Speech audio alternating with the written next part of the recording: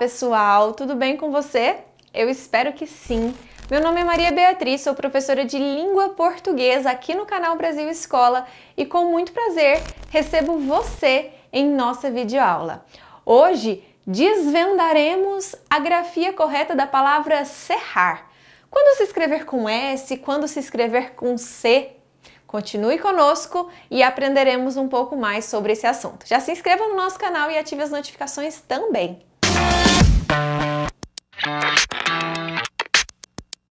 Aluno, você sabe o que são palavras homófonas?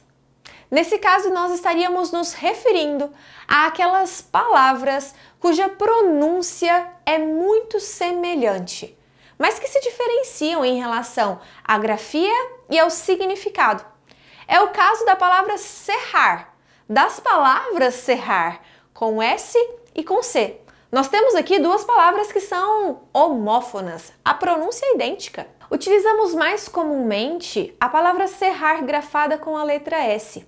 Inicialmente, o nosso dicionário da língua portuguesa nos propõe que serrar significa cortar ou dividir algo com serra ou serrote.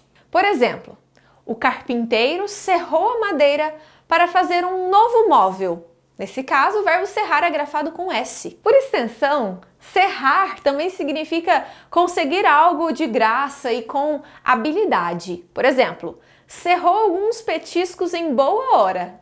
Por fim, o dicionário também registra produzir o som semelhante ao do serrote como mais um significado do verbo serrar.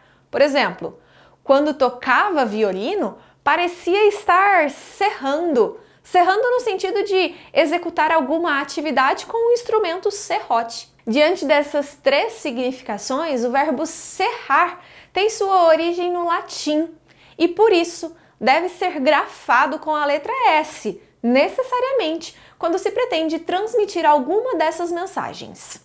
Parece curioso, mas na língua portuguesa também se registra um outro verbo muito semelhante, que é o verbo serrar, agora grafado com a letra C. Embora as pronúncias sejam iguais, serrar, a significação deste verbo grafado com a consoante C é completamente diferente. Ao pé da letra, esse verbo se refere ao ato de fechar, unir duas partes, pressionando-as e juntando-as em algo quase único. Cerrar os olhos é um bom exemplo. Ao acordar, o menino cerrou os olhos porque a luz entrava pela janela. Ele fechou os olhos pressionando e juntando as pálpebras. Para que isso fique mais claro, nós podemos visualizar o ato de cerrar os punhos. Cerrava os punhos em sinal de raiva, por exemplo. Apertava as mãos dessa maneira. Pode significar também o ato de vedar ou bloquear algo, por exemplo. Por causa da chuva, cerrou-se a estrada principal, bloqueou-se a entrada principal, não é mesmo? Também podemos utilizar algumas vezes o verbo cerrar como sinônimo de finalizar, encerrar, como em cerrou seu discurso com uma frase de efeito.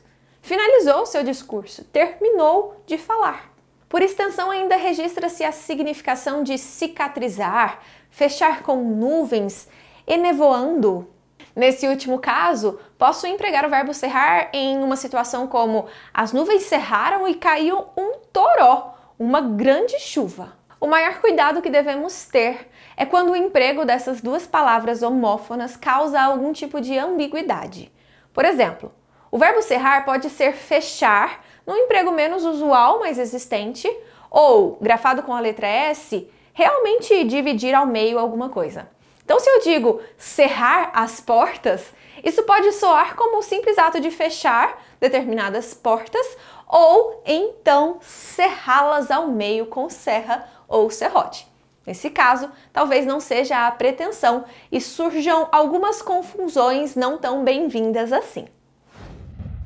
O importante é compreendermos o significado próprio de cada uma dessas palavras para não cometermos desvios em conformidade com a norma padrão da língua.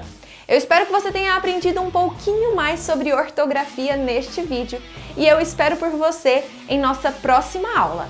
Antes de ir embora, curta, compartilhe com todos os seus amigos Nós também estamos nas redes sociais com muito conteúdo interessante. E falando em conteúdo interessante, disponibilizamos alguns links aqui na nossa descrição. Até a próxima!